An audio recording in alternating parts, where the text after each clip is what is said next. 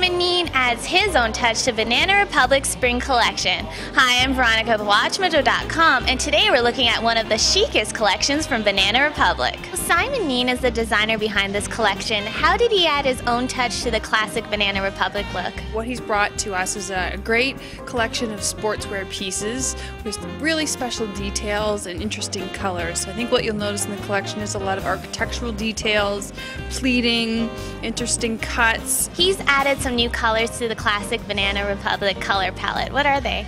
For spring, you know, he introduced a lot of beautiful colors, you know, ranging from corals and uh, really pops of kind of cobalt blue, kind of deep turquoise, and then moving into a few pastels. You know, he's got some um, pale or oranges and, and mint greens as well. We're seeing lots of different lengths for skirts. Which one's the most flattering for different body types? You know, the maxi length obviously will, uh, it's more for, it might be for a taller customer. The three quarter length is also a challenging length at kind of mid calf.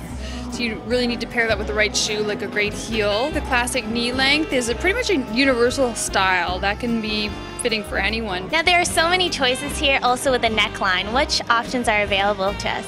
For the V-neck cut, it really elongates the neck and can really make you appear taller. So there's lots in that way.